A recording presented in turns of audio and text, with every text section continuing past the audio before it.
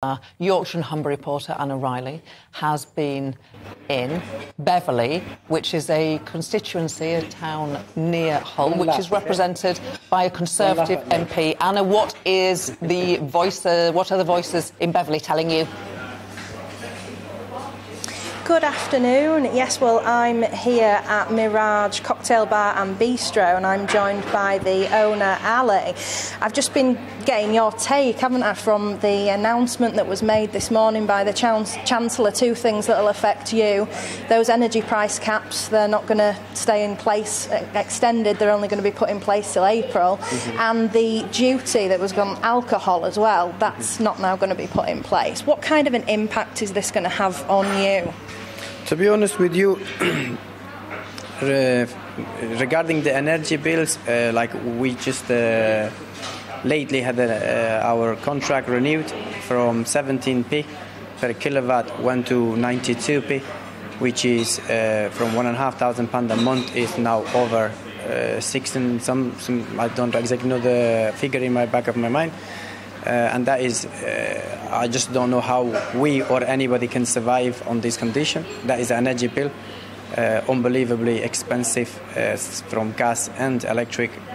also, what we did today from four of our businesses in Beverley, we made a decision that two of them will be only open five hours a day from 11 morning till 10 uh, we used to be uh, opening those businesses, and today onwards we are only opening from five o'clock to ten o'clock to just on uh, like saving on energy bills, uh, electric and gas. Uh, there is so much you can uh, cut on. you have to have your fridges on, you have to have your lights on, and you, you name it.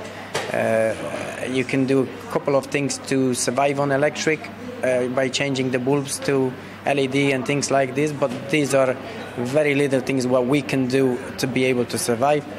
Uh, and, and those other businesses, they're all hospitality, aren't they, that you've got here in Beverley? That's right. How many staff are you employing as well, and would their jobs be at risk? To be honest with you, 120 right now. Uh, we have between four of our companies. Uh, yes, of course, uh, we are looking every angle that we can survive uh, by, as I say, from 17p to 92p a kilowatt is unbelievably expensive. And yes, the, not not everyone, we staff-wise, included myself, we are all in danger. So if we, we have to do something to be able to survive.